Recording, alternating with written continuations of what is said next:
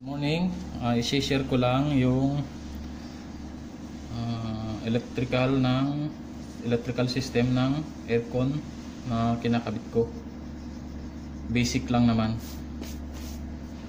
To, ang aircon kasi mayroon blower relay, blower switch, may blower resistor. Ako, ano na yan, papaliwanag ko dito sa video. So, unahin natin ngayon, mag-draw-draw ako ng ang blower switch. Ito yung blower switch. May 5 pin yan. May 5 pin yan mga sir. Ah, ito, isa, dalawa, tatlo, apat, lima. So ito, isa is sa low. Tapos mid, high. Tapos mayroon ding B papunta sa ignition switch tapos ito yung C papunta sa relay ng compressor compressor saka condenser. Ito ay blower switch.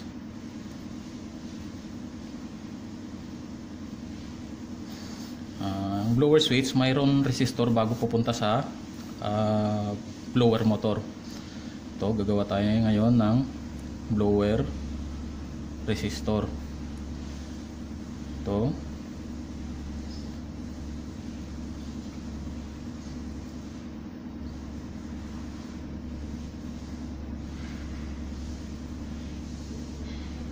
Yan.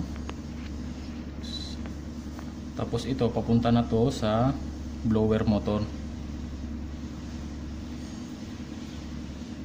Ah, yan, pasensya na kasi hindi tayo marunong mag- mag-drawing.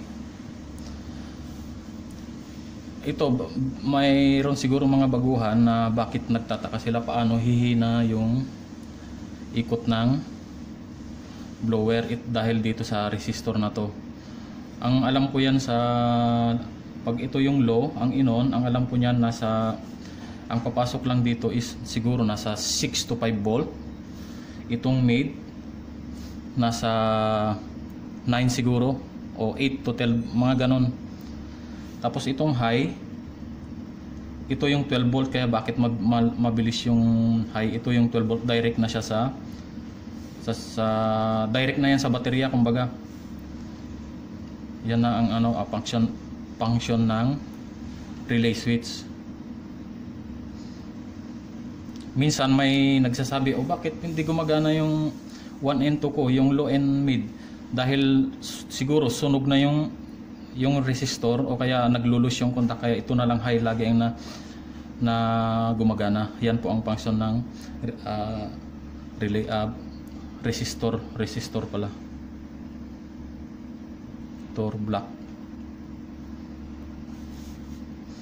So bago ang bago pupunta sa compressor sa condenser mayroon siyang relay. Ito yung relay. Dalawang ah, relay para sa blower saka sa compressor. Itong itong B papunta dito sa ito na lang yung sabi na lang nating ignition switch. Ignition switch mayroong ST ACC saka on. Tapos mayroon ito dito papunta na to sa battery naman. Ito ground. Ito ground tapos ito positive positive to. Ah, pupunta yan sa fuse main fuse siguro o depende sa design ng sasakyan. Itong ACC papunta naman dito sa blower switch. Ayan. Ah, itong relay na to ang ginagamit sa aircon ay mayroon yung 5 pin mayroon din yung 4 pin lang siya wala yung 87A pero lagyan na lang natin. Ito yung 30 87 ito yung 30 ito, ito yung 87 87 tapos 86 o kaya 85 86 85 86 Ah, ang ito yung sa 30 ng dalawang relay. Pupunta rin ah, galing din dito sa ACC ng ignition switch. Ah, mayroon tong black ah, res- ah, box pala fuse box ng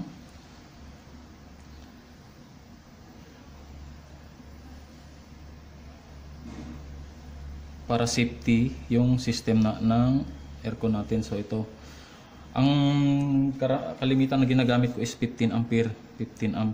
Depende kung sa inyo kung ilan ang basta wag lang ta- tataas ng 20 o kaya 30 ito pupunta na ito ngayon pupunta dito. Pupunta to ngayon sa 30 ng relay. Yan papunta dito sa 30 ng relay. Tapos yung 85 naman natin is gagawin na lang nating ground. 85 ground. Itong 87 compre com relay, compressor relay. Yung 87 pupunta na yan sa compressor. Ito, pasensya na kasi hindi ako marunong mag-drawing. Ito yung suction, ito naman yung discharge. Pupunta ito sa magnet ng compressor, positive. Ito na yung lalagay na lang natin, karamihan na body ground. Itong 87 naman ng condenser fan, pupunta rin sa condenser fan.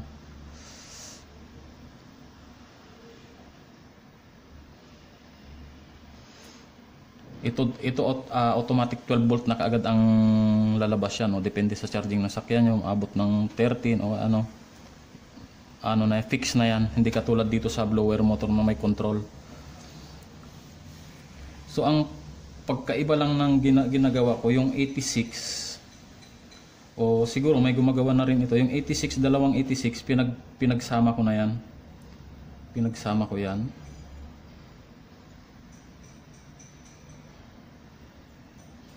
Yan. 86. Dalawang 86 ng relay ng compressor saka condenser. Magkasama na po yan. Kasi min- minsan may nakikita akong connection ng ano ng iba kaya ang ginagawa nila yung 80s ito yung 86 nito kaya 86 nito kinukuha na nila yung supply dito sa 87 pag nag-trigger yung relay na to, magkakaroon na rin ng 86 dito. 86 dito, magkakaroon, saka magkakaroon ng power nito. Ang disadvantage lang yan guys, pag nasira yung, halimbawa, nasira itong fan na nasunog o nag-short.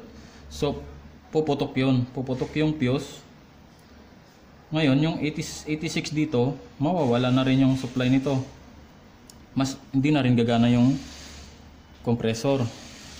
Advantage lang yan kasi is for safety. Pero kung kayo naman ang tayo naman ang gagawa, halimbawa ito pumutok di dahil dito sa compressor na ah, sa fan na to pumutok, lahat na yan madadamay.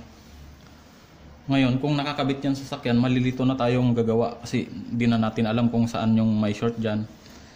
Kaya ko ginawa na hindi ko tinap yan dyan, ginawa, kinuha kong isa dito, pag nag-short yung blower, ah, fan, condenser fan ng aircon, halimbawa nag-short yan, dito lang siya mapuputol. So, ibig sabihin, gumagana pa rin yung compressor. So, pag dumating sa'yo at ganyan nangyari, alam mo na kaagad ang i-check mo. Dito ka na kaagad. At ah, hindi tulad ng tinapak mo dyan at na, nasunog yung fuse. So, da- dalawa nang checkin mo. Baka sabihin mo, magnet o short, mga ganon. Hindi katulad ng pinag-separate mo, di, magpo-focus ka na lang dito, di- dito sa relay na to. Kasi gumagana na yan. Gumagana pa rin yan. So, kaya ginawan ko ng separate na hindi ko tinap dito. So, ang compressor naman, mayroon kasi yan na ano, na tinatawag nilang high pressure switch saka thermos, thermos switch. So, ito ngayon ang connection niya. Ito yung high pressure switch. contact lang din yan. Contact switch. Tapos ito naman yung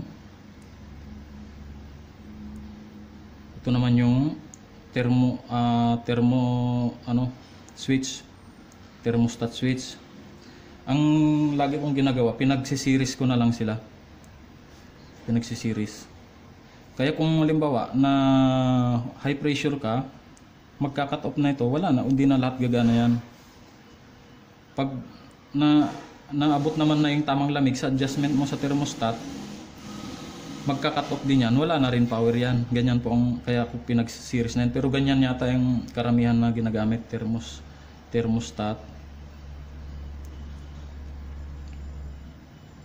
Saka high switch. P switch. Ito ang connection naman nito. Ito na yon pupunta dito sa blower switch na C. Yan, diyan na pupunta yan. Yan, yan ang connect, connection naman yan.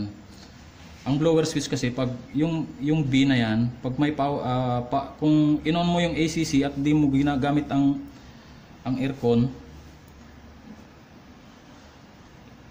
hindi mag hindi hindi siya hindi hindi magti-trigger yung relay. So ibig sabihin pag inon mo yung blower mo sa low, mag-on din yung C common. Pag in-off mo, mag-off din. Pag inon mo yung medium, mag-on din yung common. Yan ang function yan. Pero yung ibang iba, nilalagyan nila dito ng ng ah, AC switch. AC switch. Ito yung AC switch na to, ang kaya nilalagyan nila to para ang function naman nito pag ayaw nilang gamitin ang aircon pipindutin lang nila yung AC switch blower lang yung gumagana.